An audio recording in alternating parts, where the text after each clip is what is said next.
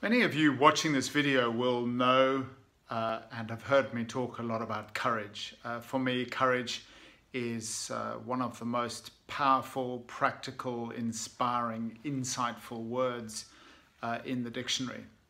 And uh, why courage is so appealing to me is that it's really uh, useful in terms of turning our fears into opportunities.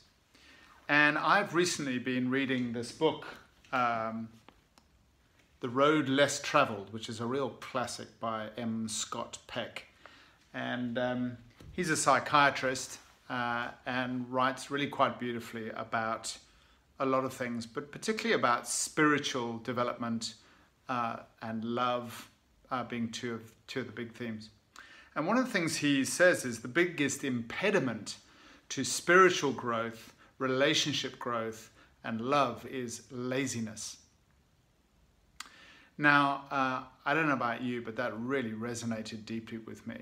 You know, I, I, people will look at me like we do. We look at other people and we say, "Oh, you, you know, but you've achieved this and you've done this. How could you possibly, how could you possibly be lazy?"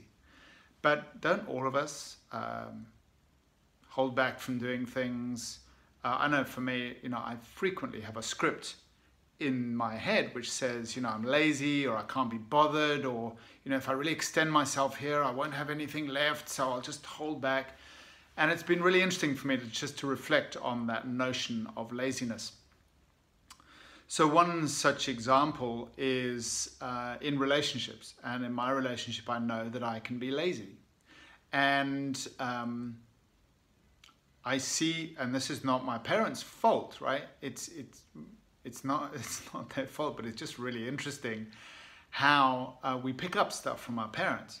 So um, my dad, uh, bless him, was um, you know he uh, I didn't see a lot of evidence of him really kind of rolling up his sleeves and getting stuck in at home.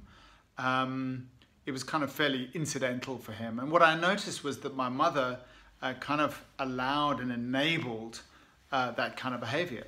So consequently, of course, I saw that as a child, and um, and I model uh, unconsciously. I model that behavior. So in my own relationship, I'm I'm perpetually in a state of uh, exploring and discovering. It's hard work. It really is hard work because it's much easier to be lazy, right? I mean, it's really easy to just sit on the sofa and eat pizza and drink beer, but unfortunately that doesn't really make a difference. And I think spiritual growth, particularly in a relationship and as, as on our journey as human beings, is immensely important. And I think it's really why we're here.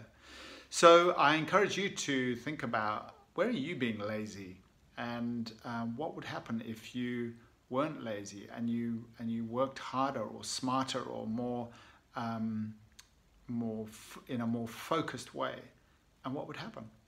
Some food for thought.